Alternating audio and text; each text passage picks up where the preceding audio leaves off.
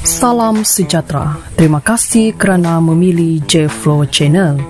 Channel ini akan menyampaikan berita terkini, gosip panas mengenai artis dalam dan luar negara.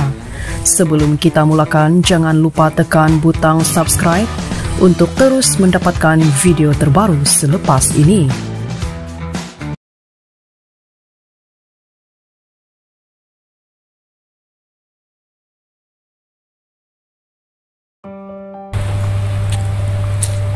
Pelakon dan usahawan Shatila Melvin berkongsi keadaannya yang tidak sihat disebabkan jangkitan virus yang tidak diketahui.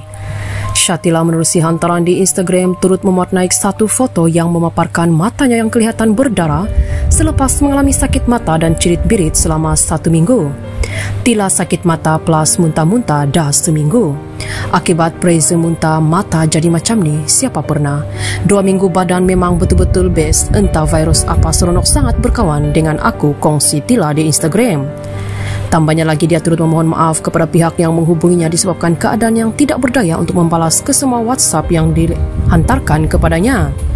Kepada yang mencari Tila minta maaf memang Tila tak buka atau reply WhatsApp apapun sebab Tila lembik Tiada tenaga, anak-anak pun sama hari ini baru boleh senyum sikit-sikit, tulis Tila lagi.